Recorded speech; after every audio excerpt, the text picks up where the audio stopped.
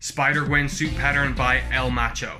And uh, at first, I posted that this was by Arachnid Studios on my previous video, and I've just corrected that mistake in the description. So, yeah, this pattern is by El Macho, and it is a really nice, unique Spider Gwen pattern.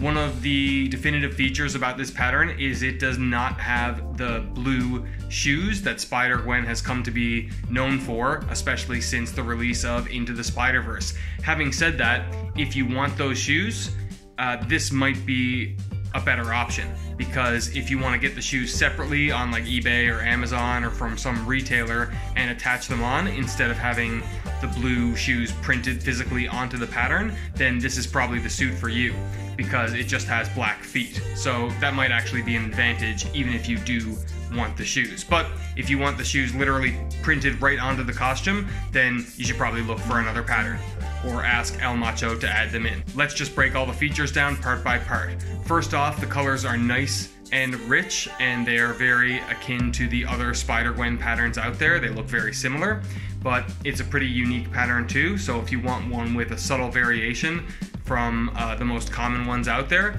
this is a good pattern for you. Honeycomb area is really definitive. The honeycombs are much bigger than on the Spider-Man costumes I have, but it's a really cool look. The pink area on this suit is super vibrant. It looks really cool. So that pink area can be seen around the pattern and it's also the inner lining of the hood. Which brings me to the hood. It looks awesome. And this particular suit was printed and assembled by It's Heroes Time and they did just a great job. The Lycra is really nice. It has a really nice quality. They printed the colors on it well, and the hood looks well. But I'll do a separate review of Heroes Time and their printing service anyway, so you can check that out later.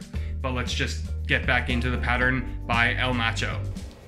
The muscle tone on the suit is really simple, but it's really nice. It's mainly found on the black area, and although it's really subtle, I like it a lot. I really like the feature of the belly button, and it looks pretty cute. Yeah, there's also the blue area, which looks really nice, and the color came out really well.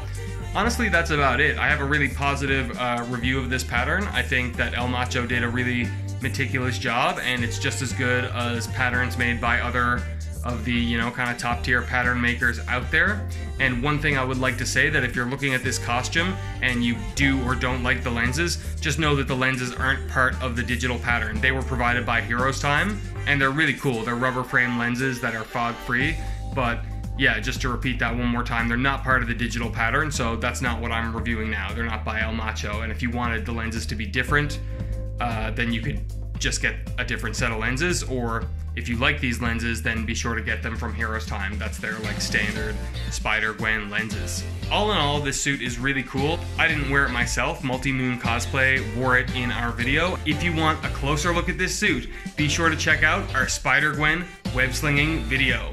And you can check out my other costume reviews and nerdy videos on my YouTube channel. Be sure to subscribe and let me know what you'd like to see from us in the future.